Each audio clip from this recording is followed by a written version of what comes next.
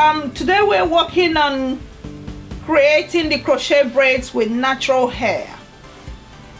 Welcome to World of Braiding. Um, my name is joy fido um this is just to give you an indication of how you can create amazing cornrows with this natural hair before you can put your crochet on it.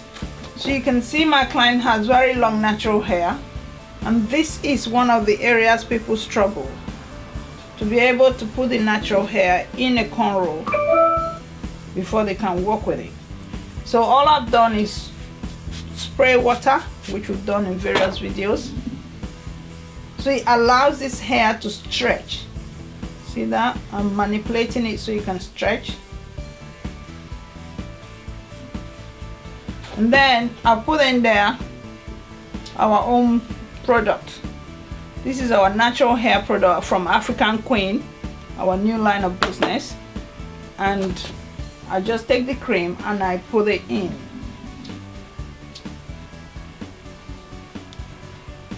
What does it do? It helps to soften this hair even more. It helps to grow hair. You can see my client's hair really long and then now I can comb through. Now that it's all detangled.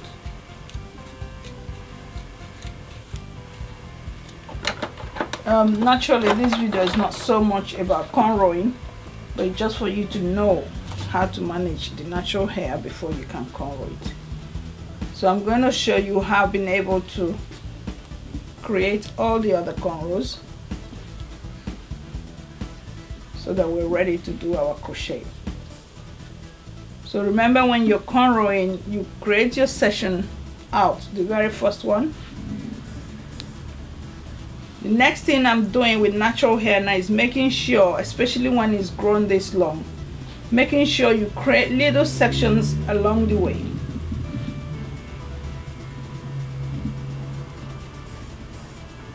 There's going to be another video that will really explain this better. But I just want you to have a quick idea about this okay so I'm on to the second strand just to make sure you're seeing this. I've finished manipulating this and I get a little strand to start with. Then I'm separating them. This is in order for me to be able to pick this hair easily without struggling with the tangled hair.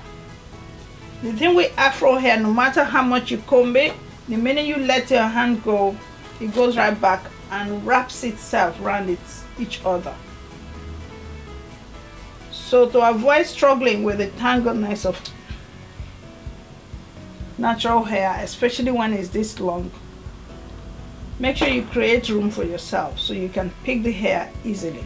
That's what this is doing.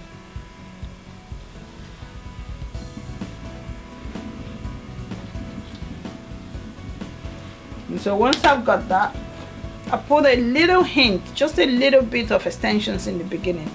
Why am I doing that? Because she got really long hair, so I don't need it. But I do because it helps to give you a good firm beginning. Like I said, starting a cornrows or braiding cornrows is not what this video is about. It's about just knowing how to work with long natural hair. So what I'm doing now is I'm picking the hairs that are dropped out. See that? So they are very easy for me to just pick them and add them on. Remember you must stretch your hand through it completely. See that? If you don't do it, it tangles itself. And learn to separate it.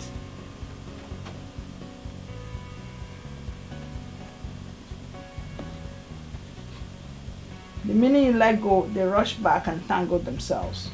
So make sure they are separated from each other.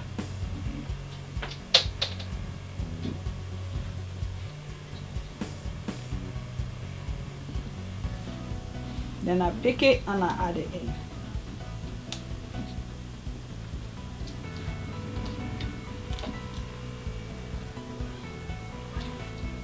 That was the one I took out so now I take what I want and I add it in. And keep pulling your hand through like that. Mm-hmm. This is why you must allow the hair to be fully fully soft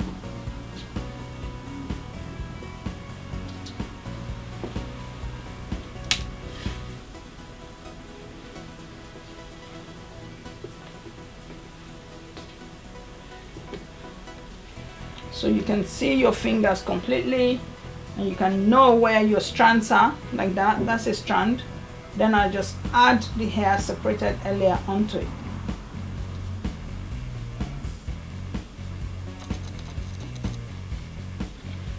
So if it's not fully detangled this is where you struggle. Yeah see that? Make sure it's completely stretched out. Because the beauty with afro hair is it stretches out completely stretchy. Once it's stretched out, you can do things with it. That's why we, we forget what we're doing with Afro hair. Or rather, we don't understand what we're doing with it. We think it has to be straight. It doesn't have to be straight. Lots of people put a blow dryer to straighten it. No, you don't need that. Once it's stretched out, you can manipulate it. Then you pick it and you add it in.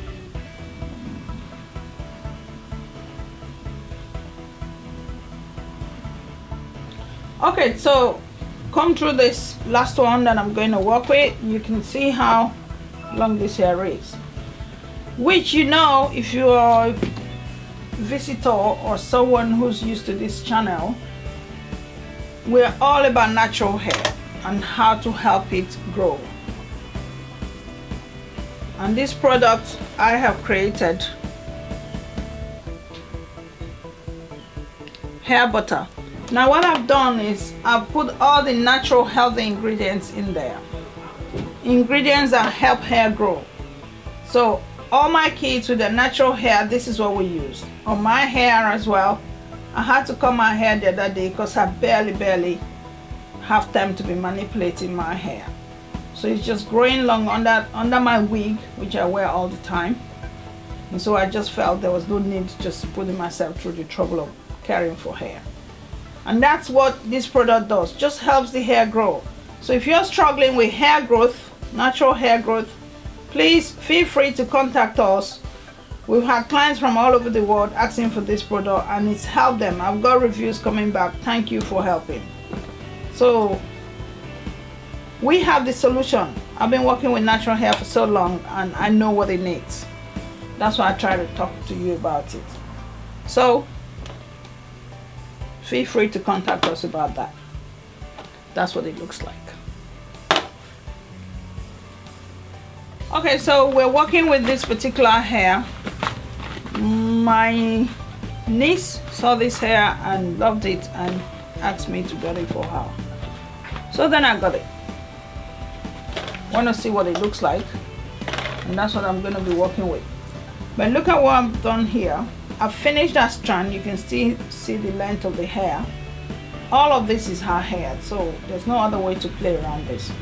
So I'm going to push this here. Sorry. So I'm taking it into that space there and I'll return it back nicely like that and tuck it in. Now just clip it for now because I'm going to add it into the crochet. I've done the same on this side pulled that strand straight in there and then held it down. Now the choices you have you could have also used the needle and thread to stitch it in but I don't feel like doing that. I'm gonna work straight with it. And that's it.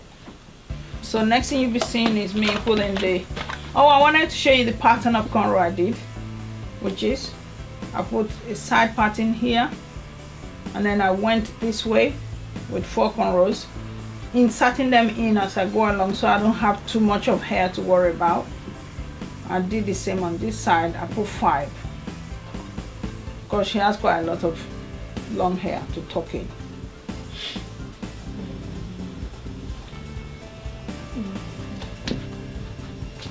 Okay so you can see how much crochet we put in this hair is really beautiful. It's light and very easy to put in. And so far we've not finished one bag. We're just like halfway. So again with crochet crochet is nothing new anymore. It's there. Everyone's offering it. But your main issue is how to get the right cornrow base to give you the image you want and so what I've created we're gonna have a side parting with it. And then the other issue people struggle with is certain hair types are difficult to put in crochet. Some of them are very slippery and don't sit in while some are quite easy. And this one is one of those easy ones. So you remember to put it in and knot it if you have to so it sits in and I'll just show you one strand what I'm doing.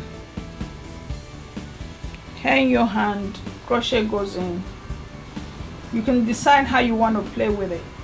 See that cornrow you could go halfway if you want it to be fuller.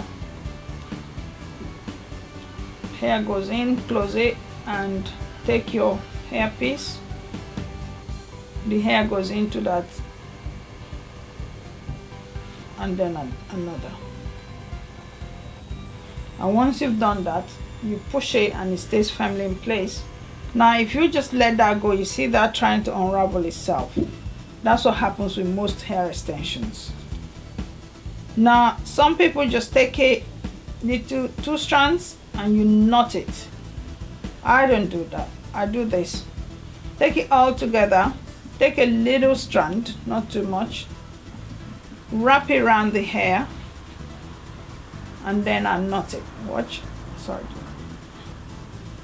Wrap it around the strand of hair all the strand. Take that hair through it. And you've got like a space. And you pull through. And that's completely knotted.